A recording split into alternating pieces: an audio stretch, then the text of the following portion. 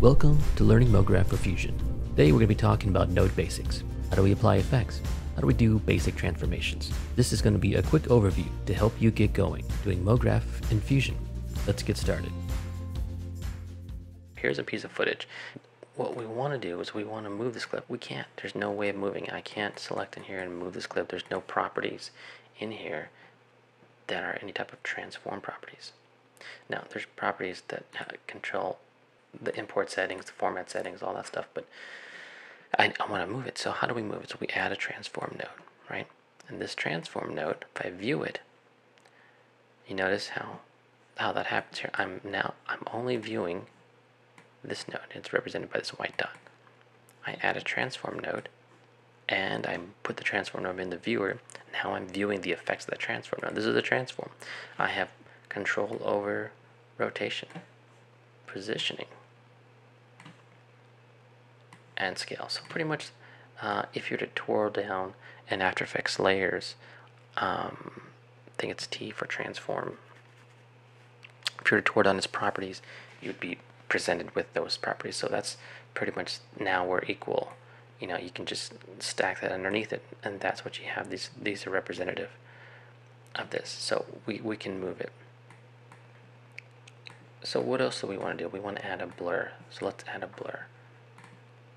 So we add a blur.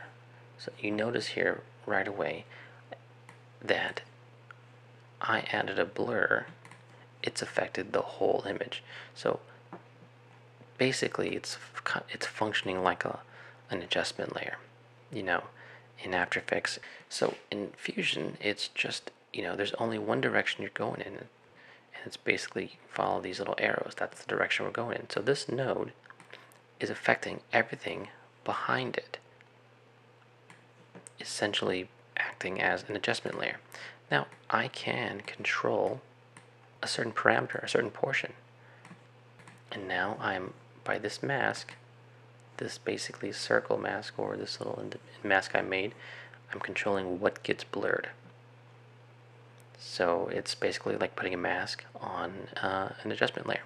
Now, if I want to only blur and keep the parameters inside this layer, I can actually use this at as its own effects mask. And now you've noticed that I've I have essentially locked in the alpha to just that. So with this blur, I'm going to add a glow. We've got a glow. This glow, here's affecting everything. Now I'm only affecting a certain part of the glow. It's only affecting a certain part. In this case.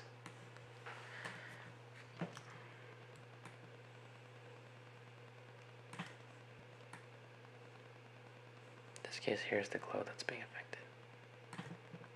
So I'm going to come to the glow, and then I'm going to say glow. Whoa, there we go. So I'm controlling this glow by adding a, a mask. And this mask, real quick, here's my masking tools.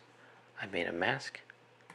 It's essentially uh, got a solid edge. I can, here we go, make it a full solid edge.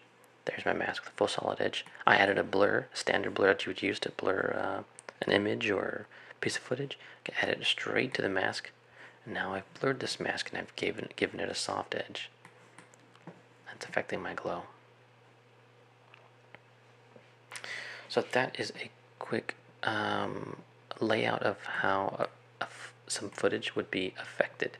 Now, we haven't done any compositing per se. We've really just added effects uh, and transforms to one piece of footage. So let's look at some uh, compositing. Here we go. We've got a nice little composite here, a node tree, and we've kind of built. Um, there it is. Thanks for watching. We'll come back in another tutorial, get a little deeper into compositing and adding multiple effects and that sort of thing.